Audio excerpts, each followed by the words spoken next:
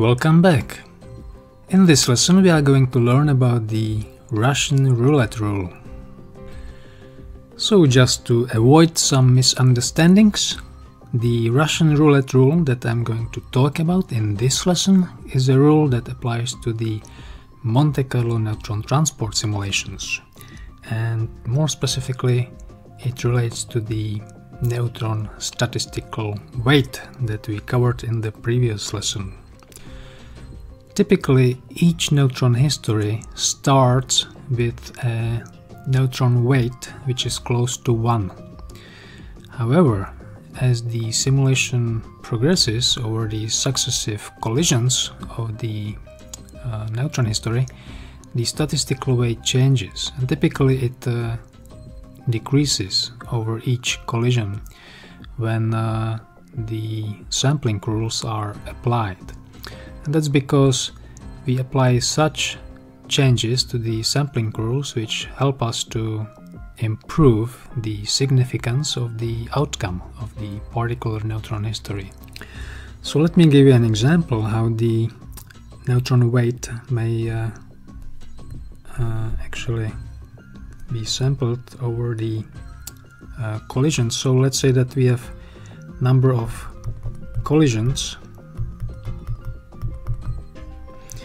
uh, during a single neutron history and uh, on the vertical axis we have the weight. So we start with the weight 1 at the uh, beginning of the neutron history.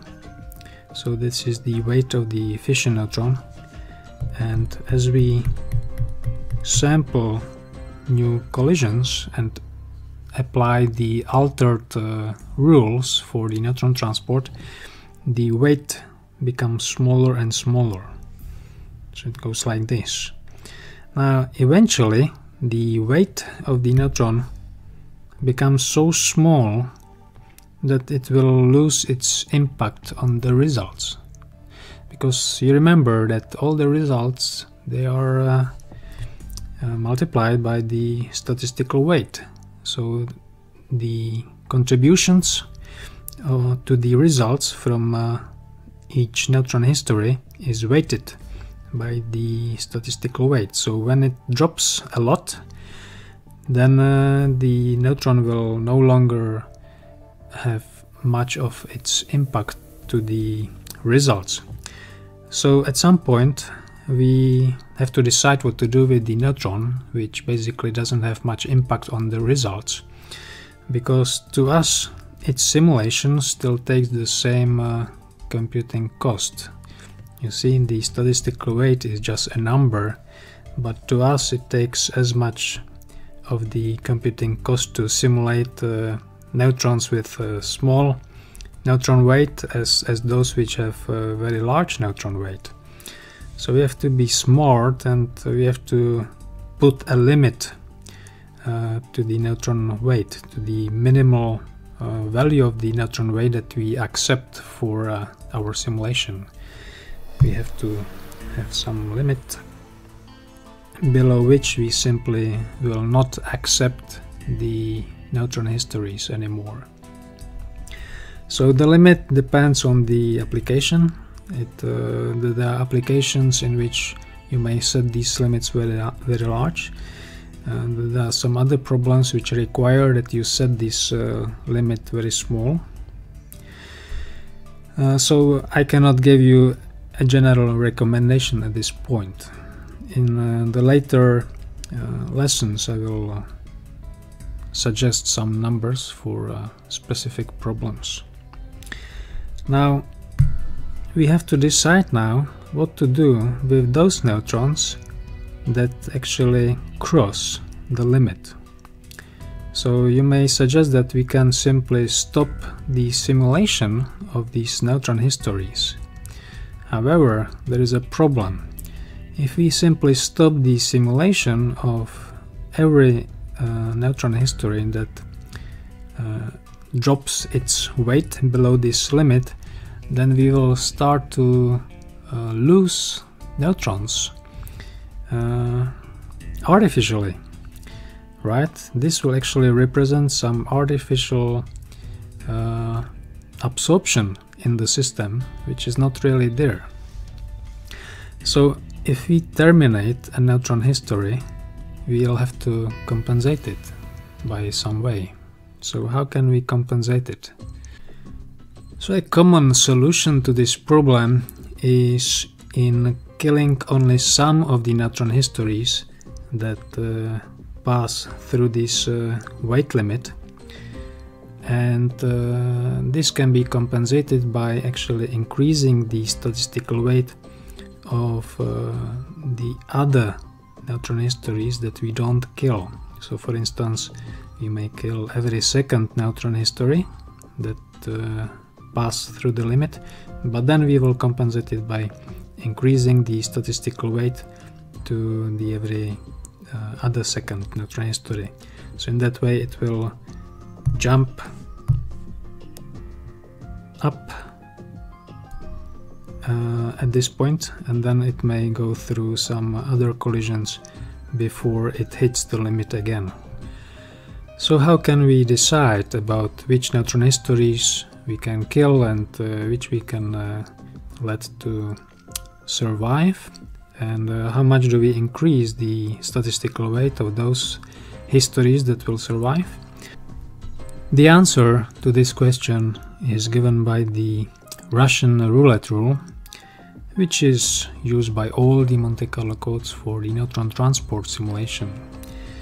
The Russian roulette rule uses a random number generator, which generates numbers between 0 and 1 and then it requires that you specify a value 1 over d.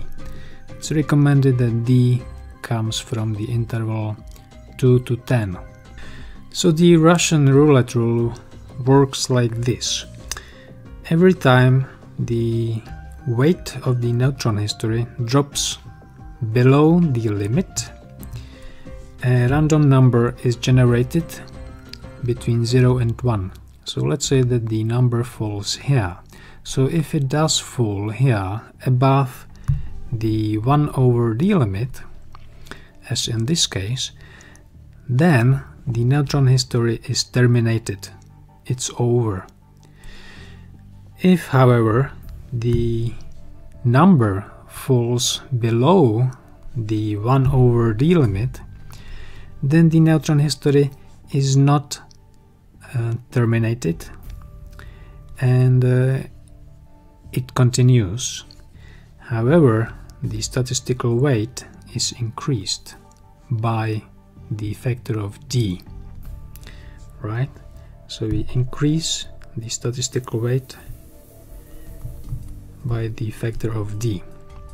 So, uh, for instance, when d equals 2, then 1 over d is 0.5 so that's here. So that means on average every second neutron history is terminated at this point. However every other second neutron history continues but its neutron uh, weight is increased by a factor of 2 it's increased twice right? So every second neutron history is killed and the remaining histories continue with uh, an increased uh, weight by the factor of 2. You can choose a different d number, for instance we can choose 10, so in this case 1 over d is 0.1, so that means that 9 out of 10 neutron histories will be killed at this point when the neutron weight is dropping below the uh, weight limit and uh, 1 out of 10 neutron histories will continue with uh, its neutron weight increased 10 times. And this is just a summary slide for the Russian roulette rule. So every time the neutron weight falls below the uh, weight limit, uh, a new random number, which I denote by u here, is generated from the interval 0, 1. The number is compared to the value 1 over d, where you are free to choose the d value from the interval 2 to 10. This is the recommended interval. If the random number is bigger than 1 over d, then the neutron history is terminated. If it's smaller or equal, then the neutron weight is increased by the factor d and the neutron history continues. And that's all for now. Have a nice day.